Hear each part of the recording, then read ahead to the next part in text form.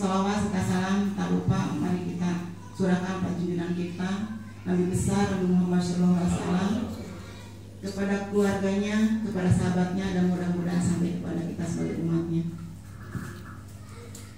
Yang terhormat Bapak Kepala Sekolah SDN Karanganyar sekaligus di sini statusnya sebagai calon kepala sekolah ya Pak.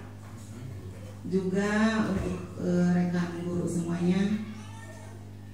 Sebetulnya kegiatan ini memang